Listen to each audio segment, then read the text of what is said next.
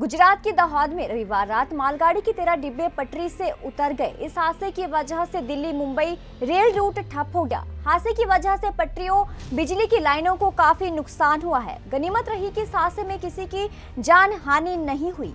मिली जानकारी के मुताबिक दाहोद के मंगल मुहडी में गुड्स ट्रेन के डिब्बे पटरी से उतर गए इस हादसे में तेरह से ज़्यादा डिब्बे पटरी से उतर गए, जिसकी वजह से रेल लाइन को काफ़ी नुकसान पहुँचा। घटना की सूचना मिलते ही आला अधिकारी मौके पर पहुँच गए इस हादसे में रेल के डिब्बों से उसके पहिए अलग हो गए, जिसकी वजह से रेलवे लाइन को भी काफ़ी नुकसान पहुँचा। हादसे की वजह से अति व्यस्त मुंबई दिल्ली रेल मार्ग ठप पड़ गया है। कई ट्रेनों को रूट बदलकर निकाले जाने की तैयारी चल रही है। कई ट्रेनों को रास्ते में ही रोक दिया गया है।